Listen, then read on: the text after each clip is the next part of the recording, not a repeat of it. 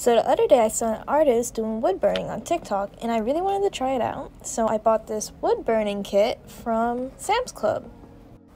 It came with all these different tips for different textures and strokes, as well as several different pieces of wood to wood burn on. Some smaller, some bigger, and they're all in different shapes. And of course the wood burner itself, and watercolor paints for the final pieces. It also came with stencils, already drawn if you're not an artist yourself, and the transfer paper to easily transfer the paper designs onto this piece of wood.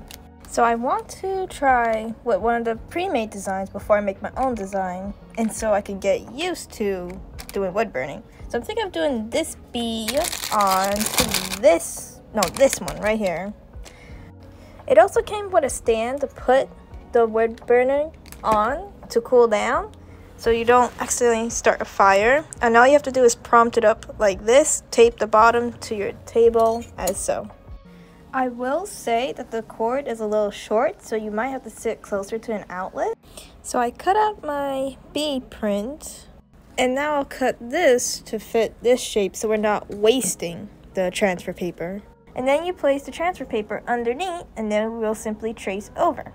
One tip to remember is to put the shiny side on the facing downwards in order to get the design onto the wood. Of truth. Not bad.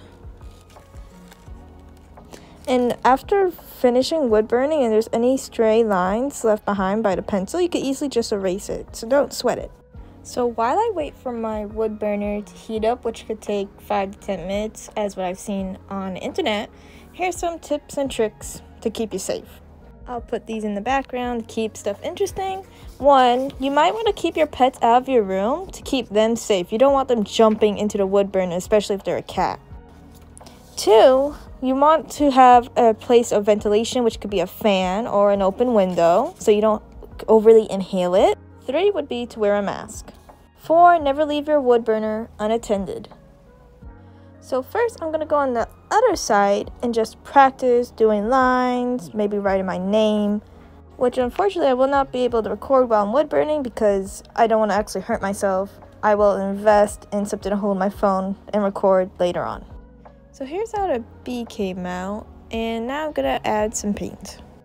And here is the final piece I used watercolors for the yellows and I went over the black lines with this black ink brush pen and with some white acrylic paint for the shine.